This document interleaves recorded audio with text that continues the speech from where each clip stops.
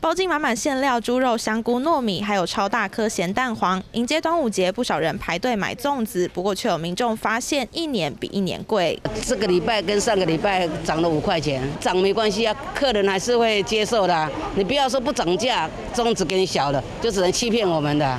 粽叶从每六十片七十元涨到八十元，糯米也从每台斤三十元涨到三十五元，而绑绳价格也成长将近三成。另外，猪肉和香菇原物料样样涨，不少店家扛不住，只能跟进，平均每颗涨幅在五到十元。就连 AI 教父黄仁勋最爱的肉粽，一颗都要价八十元。因为现在通膨嘛，什么物价都很贵啊，嗯，所以好吃比较重要啦。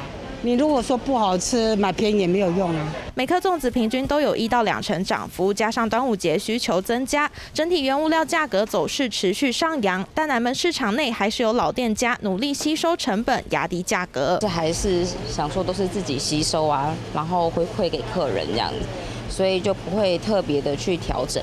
那如果说我们家有要调整价钱的话，通常都是过完端午节之后才会做调整。根据行政院消保处调查，今年四大卖场、超商和电商平台对粽子的价格调查，虽然有四成价格上涨，不过涨幅大约都在两成以下，些微涨幅不少消费者还是可以接受。但今年想要欢庆端午，预算也得拉高一些。三新闻蔡宇志、王佩华台报道。